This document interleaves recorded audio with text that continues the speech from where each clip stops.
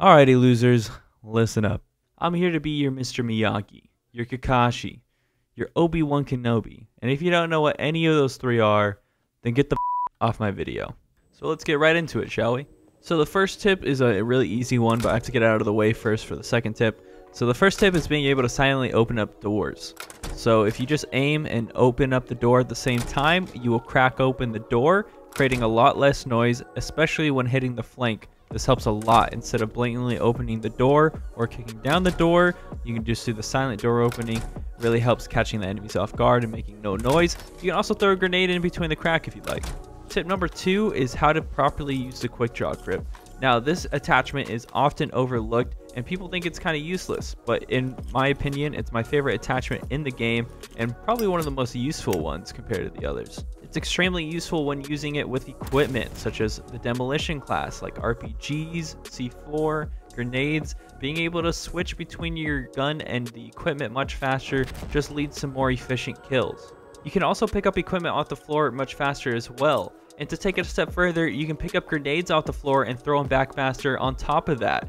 Now, before you could do this, but the animation was so slow and there's a timer on the grenade, you were most likely going to get yourself killed. But with the quick draw grip, you can throw it back so much faster and you actually have a fighting chance of grabbing the grenade and tossing it back at the enemy. This also helps out flashbangs tremendously. Before the update, I thought flashbangs were useless.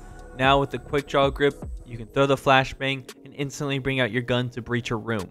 You're just much faster off the throw and allows you to breach the room when they're actually flash instead of waiting for the long animation like before. This could also lead to some really cool techniques, such as a double nade throw. So you just throw a nade at a doorway, and they think the door is closed, that the grenade's going to take the blast, but this grenade will blow up the door, all while cocking the second grenade to throw right as the first grenade blows up the first door, and throwing the enemy off surprise as the second nade goes through the exploded door. Lastly, if you're the driver inside the truck, this actually really helps out bringing your gun much faster. So if there's somebody shooting and you're trying to drive, uh, you know, right into OBJ, and you need to quickly get some kills right out of the truck. The quick draw grip is going to be your friend in that scenario, being able to bring out your gun the fastest and shoot right away.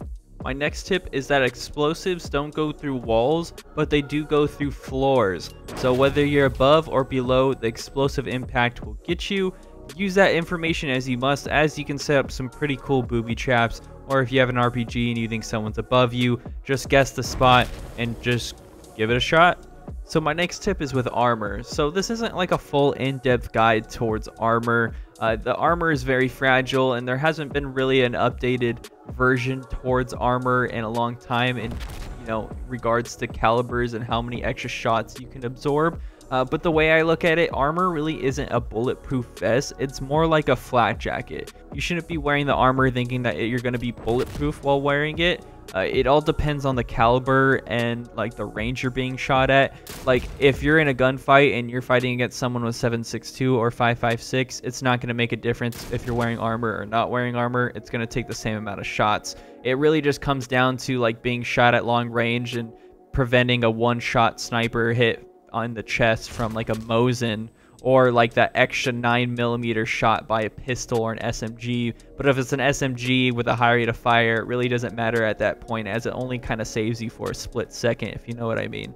But when it comes to explosive damage, that's where it really excels. You know, being able to absorb C4, frag grenades, RPGs, uh, that's what's really going to save your life. So I definitely suggest using it on defense as it does slow you down. Or if somebody on the other team is really spamming, you know, grenades or RPGs and whatnot, and you're just trying to live, uh, heavy armor or light armor in that case as well is really going to protect you against these explosives. You'd be surprised on how many times I shoot an RPG at someone and they end up living simply because they have heavy armor.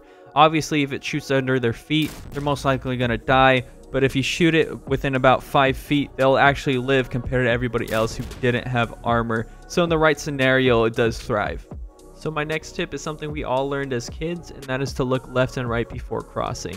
Now you'd be surprised on how many players don't do this. It's insane how many times I see players walk past an enemy and either get shot in the back or leave that enemy and it was an easy kill for them and the enemy ends up killing your teammates in the process.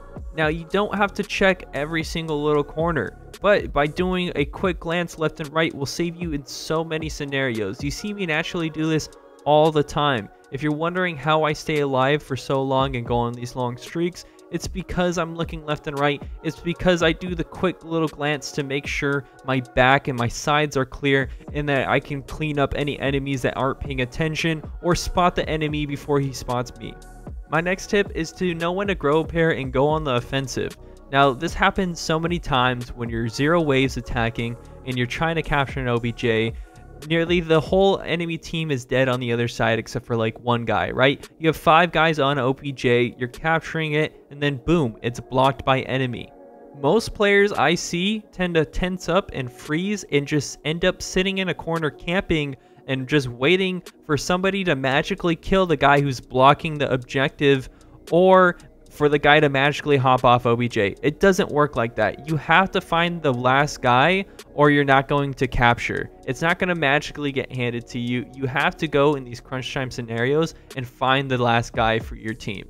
Most of the time, the last guy on OBJ on the enemy team is sitting in a corner waiting for reinforcements to come. He's not going to go all by himself as the last one alive to clear out OBJ by himself. He's going to wait for his reinforcements and play it safe. So of course you got to find that guy before those reinforcements come and wipe you out. Because once those reinforcements come, I promise you, you will lose. You're going to die either way. So you might as well try and go out winning by finding the last guy and getting that objective captured. Don't freeze up and lose it for the game. You know, make sure that you're smart about it and that when it's blocked by an enemy, you're constantly trying to find him in his hiding spot and you start clearing the corners.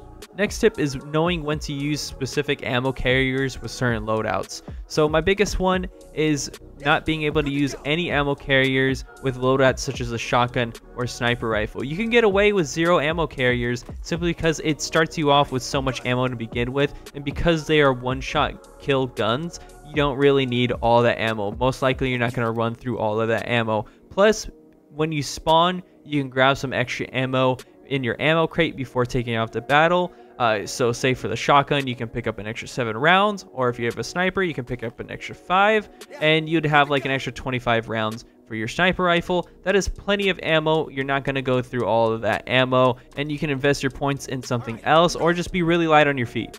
For the most part, I'm rocking lightweight carrier, and then for certain scenarios, such as using the AS-Val or FAMAS with high rate of fire guns that spew a whole lot of ammo, you rocking the heavy carrier really helps with bringing extra mags, or you're using a demolition class and you want to use all three equipment slots, using the heavy carrier helps as well. The next tip is a pretty crazy pro tip that I just found out from the dev live stream, and that is you can't hear uh, enemy reloads. Uh, I never knew that. So whenever you're reloading, the enemy can't hear you reloading. Now you can hear everything else, such as you know footsteps, using equipment, uh, proning, um, but you can't hear whenever you reload because they don't have it into the game. And most games actually don't have it, believe it or not, uh, which I didn't know until it was pointed out. Uh, but yeah, so use that information as you please. If you're, you know, going on a stealthy flank and you just kill the guy, don't be afraid to reload because the enemy can't hear you. Sadly, I haven't been able to really play night maps as they haven't really been popping up uh, from NWI's limited time playlist lately. Uh, but the only one I really got for you guys is to use tracer rounds at night. Uh, for the most part, at nighttime, it is really hard to see where your bullets are impacting and see where the bullets, you know, hit certain surfaces wherever you're shooting at somebody. Thankfully, with tracer rounds at night, especially with night vision, you can see the tracer rounds much more clearly and see where your shots are going. So it really does help, and it's probably the only time I'd say tracer rounds are actually useful. Well, I hope you enjoyed today's video, guys. You know, I set this up in hoping you guys can become a better player. If you're trying to improve even further on that, remember, you know, aim comes over time as well as map knowledge also comes over time as you try uh, to become a better player. So not everything can just be handed. You do have to learn some things along the way, uh, but hopefully some of this knowledge could speed that up and make you better players overall after today's video. So I hope you guys enjoyed. Hit the subscribe button for more. Leave a like if this really helped you out. This is MGE Gibs. I'm out. Deuces.